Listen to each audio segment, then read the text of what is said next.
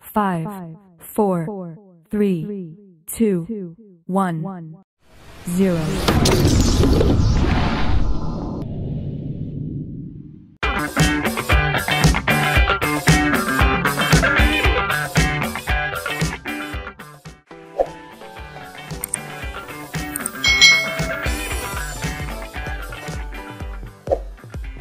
Hai hai hai Selamat datang di channel youtube Kak Citra Apa kabar nih adik-adik semua yang duduk di kelas 3? Apakah kalian siap belajar bersama Kak Citra hari ini? Kira-kira hari ini kita belajar apa ya? Nah kita masih di belajar di tema 3 Benda di sekitarku Subtema 1 Aneka benda di sekitarku Pembelajaran yang keenam Mari adik-adik kita belajar dengan penuh semangat Adik-adik sudah mempelajari aneka bahan pembentuk benda pada pembelajaran sebelumnya Nah, selanjutnya kita akan menyelidiki bahan yang sesuai untuk benda-benda tersebut. Tentukan lima benda yang akan diselidiki oleh tiap-tiap kelompok. Lalu kalian bisa menuliskan hasil musyawarah kelompok kalian melalui e, tabel seperti ini adik-adik. Nah, di sini ada benda yang akan kalian selidiki. Di sini Kak Citra beri contoh benda yang akan kita selidiki adalah meja, papan tulis, buku pelajaran, gelas, dan sendok. Nah adik-adik masih ingat ya kalau meja itu biasanya terbuat dari kayu. Papan tulis, nah papan tulis ada yang terbuat dari triplex ya. Lalu buku pelajaran itu terbuat dari kertas. Gelas itu terbuat dari kaca. Sendok itu terbuat dari logam. Kita masih ingat ya pada pembelajaran sebelumnya. Apa keuntungan melakukan musyawarah dalam mengambil keputusan bersama? Nah, kita belajar bahwa dengan musyawarah ini terjalin suatu hubungan yang baik antar anggotanya dalam menyelesaikan suatu masalah dengan cepat dan bersifat adil untuk seluruh anggota organisasi atau kelompok yang melakukan musyawarah. Jadi keuntungannya banyak nih adik-adik, mempererat persaudaraan, mengambil keputusan atau mufakat ya. Di sini juga dikembangkan sikap saling menghargai. Ternyata bermusyawarah itu sangat menguntungkan adik-adik. Bagaimana cara menghormati pendapat temanmu? Nah, saat bermusyawarah pasti ada beberapa orang yang akan menyampaikan pendapatnya ya. Kalian juga harus berani menyampaikan pendapat kalian saat bermusyawarah. Nah, bagaimana cara menghormati pendapat temanmu? Ya, dengan cara tidak memaksakan kehendak dan tidak mengejek pendapat yang disampaikan oleh teman kita kalau pendapat itu berbeda dengan apa yang kita sampaikan. Begitu adik-adik itu cara menghormati pendapat orang lain. Apa yang terjadi jika kita menghormati pendapat teman? Nah, yang terjadi ya tidak akan ada pertengkaran, tidak akan ada perselisihan, sebab saling menghargai pendapat orang lain itu membawa suasana damai adik-adik. Setiap kelompok telah memilih benda tadi adik-adik ya, benda yang kita tentukan tadi. Lakukan penyelidikan bahan yang terbaik untuk membentuk benda tersebut. Nah, di sini Kak Citra membuat tabel ya. Di sini contohnya nama bendanya adalah daun jendela. Nah, daun jendela itu terbuat dari bahan apa? Oh, ada yang terbuat dari kayu, ada yang terbuat dari aluminium. Nah, kalau kayu itu punya kelebihan dan kekurangan. Kelebihannya memakai kayu itu kuat dan beberapa jenis kayu itu dapat bertahan sampai ratusan tahun. Kekurangannya ketika memakai kayu, daun jendela yang memakai kayu itu dapat terkena rayap dan mudah terbakar.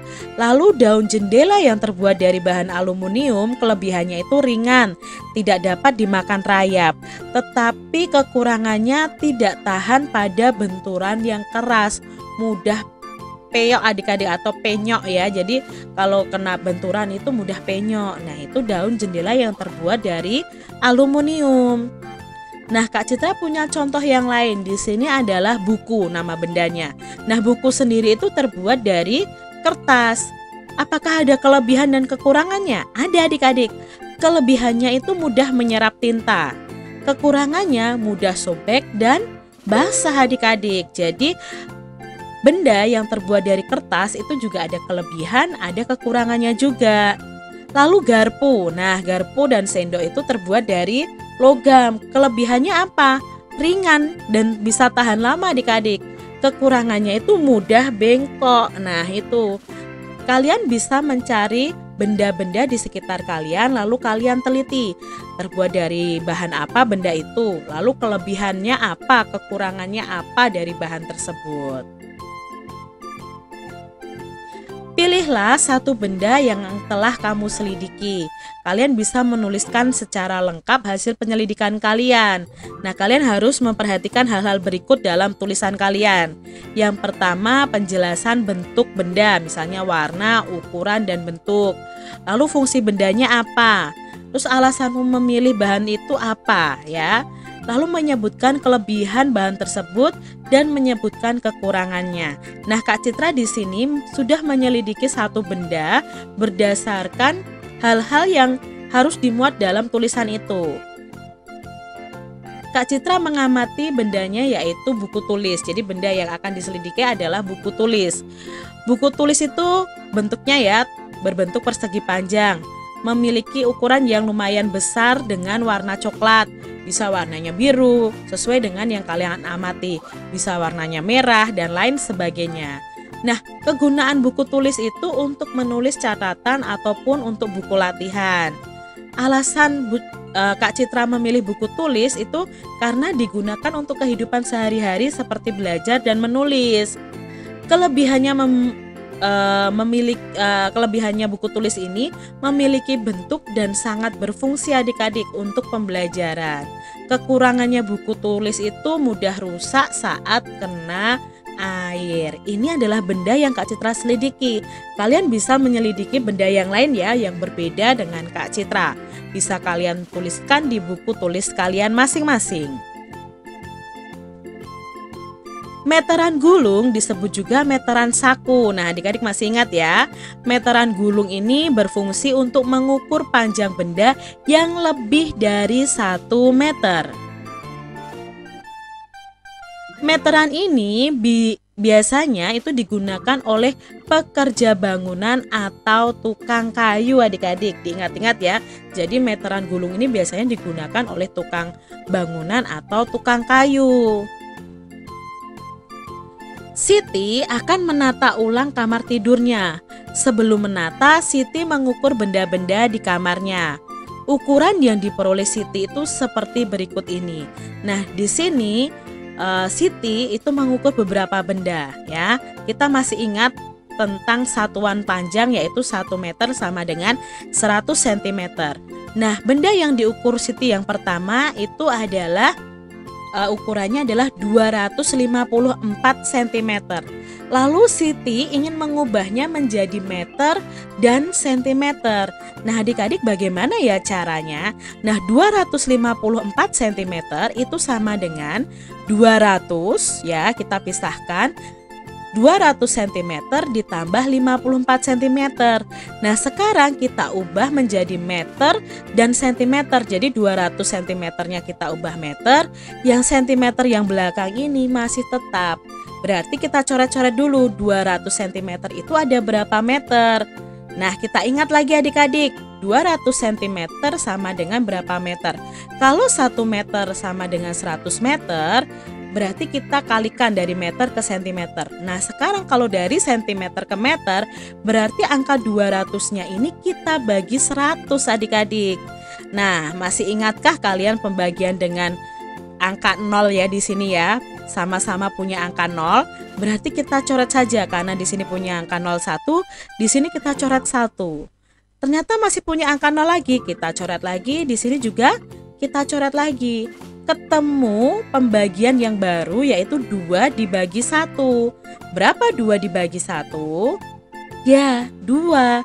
Berarti 200 cm sama dengan 2 meter. Nah, 2 meternya ini kita taruh di sini adik-adik. Jadi 200 cm sama dengan 2 meter.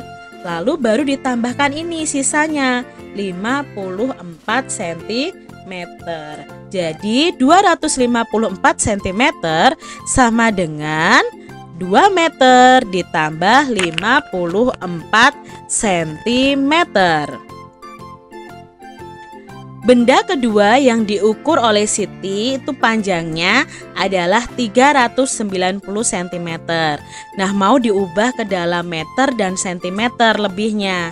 Nah, kita bisa buat penjumlahan 390 ini kita uraikan adik-adik. Berarti 300 cm ditambah 90 cm. Nah, 300 cm-nya ini kita ubah menjadi meter, 90 cm-nya ini tetap menjadi cm. Nah, kita cari tahu dulu 300 cm berapa meter. Maka kita coret-coret di sini. 300 cm sama dengan titik-titik meter. Nah, 300 cm menjadi meter itu kita bagi dengan 100 Sama seperti tadi, sama-sama punya 02 Kita coret saja nolnya adik-adik Supaya mudah pembagiannya. Nah sekarang ketemu nih pembagiannya 3 dibagi 1 Berapa 3 dibagi 1? Ya 3 dibagi 1 itu 3 Maka 300 cm sama dengan 3 meter. Kita tuliskan di sini adik-adik 3 meter ditambah 90 cm.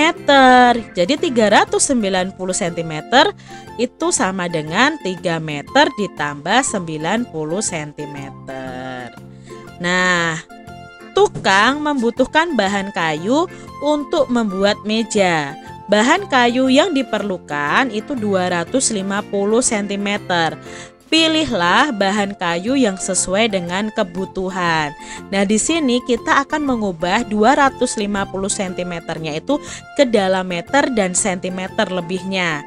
Caranya bagaimana? Ya seperti tadi adik-adik 250 cm sama dengan titik-titik meter ditambah titik-titik cm Maka kita uraikan dulu 250 nya 250 itu kita uraikan sama dengan 200 cm ditambah 50 cm. Nah, 200 cm-nya ini kita ubah dalam meter. 50-nya kita tetap adik-adik karena satuannya sama-sama cm. Nah, kita cari tahu dulu 200 cm itu berapa meter. Nah, berarti 200 dibagi 100. Sama-sama punya 0 kita coret saja. Maka ketemu 2 dibagi 1 Berapa 2 dibagi 1? Ya 2 berarti 200 cm sama dengan 2 meter. Lalu kita tulis di sini 200 cm sama dengan 2 meter. 50 cm nya karena sama-sama satuannya cm tidak perlu diubah. Jadi 50 cm Jadi jawabnya 2 meter ditambah 50 cm atau 2 meter 50 cm. Maka mana jawaban yang benar yang sesuai dengan kebutuhan kayu oleh tukang ini ya, tukang kayu ini? Maka inilah yang kita centang adik-adik karena 2 meter 50 cm. Begitu tadi adik-adik pembahasan kita di tema 3 subtema 1 pembelajaran yang ke-6. Semoga video pembelajaran ini bermanfaat ya untuk adik-adik semuanya. Dan sampai jumpa lagi di video pembelajaran Kak Citra selanjutnya. Tuhan memberkati.